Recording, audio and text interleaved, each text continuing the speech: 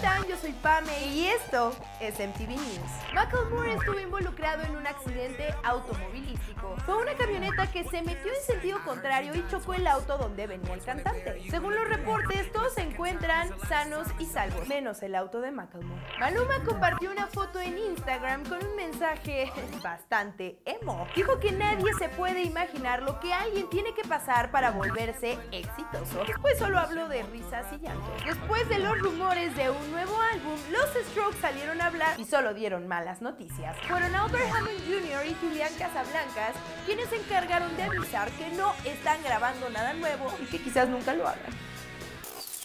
Rubí fue tratada de ignorante en las redes. El motivo, durante una entrevista le preguntaron que cuántas horas de sol creía que iban a tener durante el día y ella respondió 30 horas. Y bueno, el tiempo es relativo.